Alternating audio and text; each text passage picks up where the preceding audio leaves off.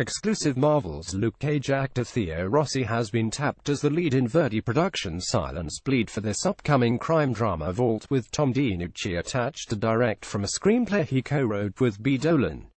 Inspired by true events, the film follows a group of small-time criminals, who in 1975 attempt to pull off the biggest heist in American history, stealing more than $30 million from the mafia in the smallest state in the Union, Rhode Island.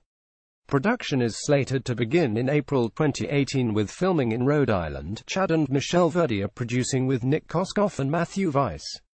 Nicholas Carmona, Dawn Vansant and Tanya Lynch are executive producing. Rossi most recently starred in Universal Blumhouse's Lowriders and is set to reprise his role in Season 2 of Luke Cage on Netflix. Repped by CAA and Management 360, The Sons of Anarchy alum will next be seen in Eric Bress' thriller Ghosts of War.